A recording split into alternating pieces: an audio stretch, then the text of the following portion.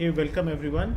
Today we are going to discuss uh, tumor, a benign, uh, generally a benign epithelial proliferative lesion, sometimes can be malignant. So please stick till the end. We are going to have lots of uh, learning and we are going to capture all the high points. So Phyllodes tumor, also known as cystosarcoma phyllodes, and it is a fibroadenoma-like tumor with excessive of fibrous growth. Phyllodes leaf-like architecture is the name uh, because of which the name uh, cystosarcoma phyllodes is being given. Benign, borderline and malignant uh, lesions are there based on cytological atypia and mitosis. Mitosis should be more than 10 per 10 high power field in, malig in malignant uh, phyllodes. Tumor vary in size from a few centimeter uh, to massive lesions as much as 20 centimeter also.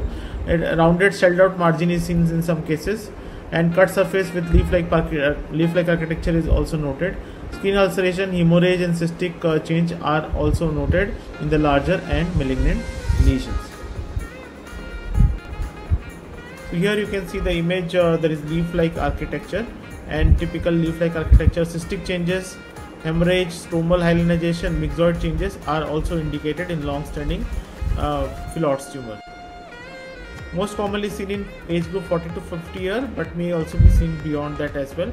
Form asymptomatic mobile breast uh, lump is seen and uh, it may demonstrate invasive growth uh, into the stroma especially in malignant phyllodes treatment is local excision with uh, local excision with clear margin uh, getting and the margin should be clear when the surgeon is excising because of high incidence of recurrence.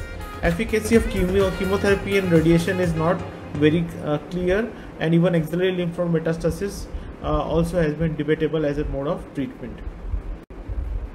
So have a quick recap. It is a fibroadenoma-like tumor. Phyllodes is a fibroadenoma-like tumor with stromal hypercellularity and leaf-like architecture. Benign borderline and malignant based on atypia and uh, number of mitosis. High incidence of local recurrence after excision is being seen. Uh, so thank you and happy learning. Thank you for watching the video.